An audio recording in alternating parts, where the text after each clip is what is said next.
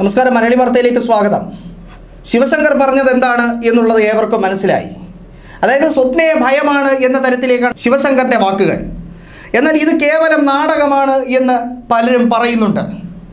എൻഫോഴ്സ്മെന്റിന്റെ കാര്യമാണ് നമുക്കറിയേണ്ടത്. അതായത് enforcement directorate കോടതിയിൽ പറഞ്ഞിരിക്കുന്നത് ശിവശങ്കർ ബാങ്ക് ഇടപാടിൽ ചാർട്ടേഡ് അക്കൗണ്ടിനെ ഉൾപ്പെടുത്തിയത് എന്തിനു വേണ്ടി എന്നുള്ള മറുപടിയാണ്.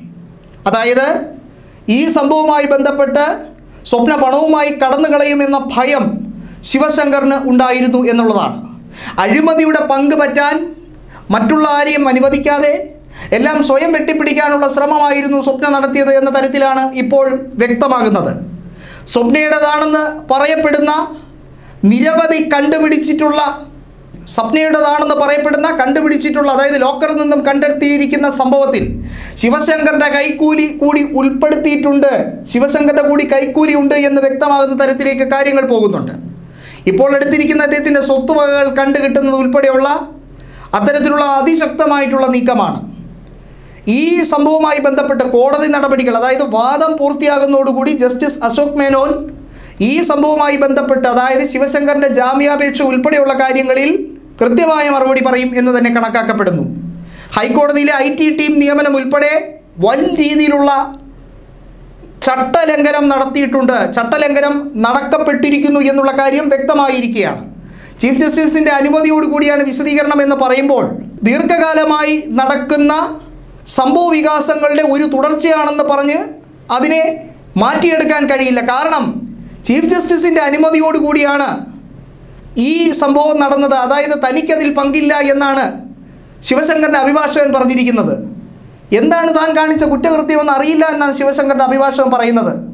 ഇതിൽ ഒരു രീതിയിലും കഴമ്പില്ല. കാരണം ശിവശങ്കറിന്റെ ഔദ്യോഗികമായിട്ടുള്ള പദവി ദുരുപയോഗം ചെയ്ത് തന്നെയാണ് ഇത്തരത്തിൽ ഒരു അപ്പോയിൻമെന്റ് നടത്തിയിരിക്കുന്നതെന്ന പ്രഥമഘട്ടത്തിൽ എൻഫോഴ്സ്മെന്റ് കണ്ടുപിടിച്ചതാണ്. ഇനി അതിനെ മാറ്റിമറിക്കാൻ ആർക്കും കഴിയില്ല. എൻഫോഴ്സ്മെന്റ് നടപടികൾ ആത്യന്തികമാണ് എന്ന് പറയാൻ കഴിയില്ല. കോടതിയുടെ കൃത്യമായിട്ടുള്ള ചോദ്യം ചെയ്യലുണ്ടാകും എന്തിനു വേണ്ടി ഏതെല്ലാം വകുപ്പ് പ്രകാരം എന്തെല്ലാം രീതിയിലുള്ള ചട്ടലംഘനമാണ് ശിവശങ്കർ നടത്തിയതെന്ന് ചോദിക്കും. ഈ ചോദ്യങ്ങൾക്കുള്ള സ്പഷ്ടമായിട്ടുള്ള മറുപടി അവർ പറയാൻ ബാധ്യസ്ഥരാണ്. എന്നാൽ ശിവശങ്കറിനെതിരെ അതിനിർണായകമായ തെളിവ് ശേഖരണത്തിന് ശേഷം അദ്ദേഹത്തിന്റെ സ്വത്തുവകൾ കണ്ടെത്താൻ വേണ്ടിയുള്ള ശ്രമം നടക്കണമെങ്കിൽ കേസ് അതിരൂക്ഷമായി മാറുന്നു. ശിവശങ്കറിന്റെ ഒളിച്ചുകളിയൊന്നും നടക്കില്ല. സ്വപ്നയ്ക്ക് വേണ്ടി ശിവശങ്കർ നടത്തിയ ഇടപെടലുകളെല്ലാം അടപടലം പുറത്തു വരികയാണ്. എന്നാൽ ശിവശങ്കർ പറയുന്ന ഉന്നതർ ഉൾപ്പെടെയുള്ള കാര്യങ്ങളെക്കുറിച്ചാണ്. സ്വപ്ന ആർക്ക് വേണ്ടിയാണ് ഇപ്പോൾ രക്ഷ നിൽക്കുന്നത്? ഉന്നതർ പിടിക്കപ്പെടാതിരിക്കാൻ വേണ്ടിയാണോ? ശിവശങ്കറിന്റെ എല്ലാ കേസും ശിവശങ്കറിന്റെ മേൽ കെട്ടിവെക്കാൻ വേണ്ടിയാണോ ശ്രമിക്കുന്നത്? ഏതായാലും ഇ ഡി ഇതൊന്നും ആത്യന്തികമായി വിശ്വസിക്കുന്നില്ല. ഒരാൾ പറയുന്നത് ഈ കാര്യങ്ങളിലൊക്കെ ശിവശങ്കറിന്റെ പങ്കുണ്ട് എന്ന്.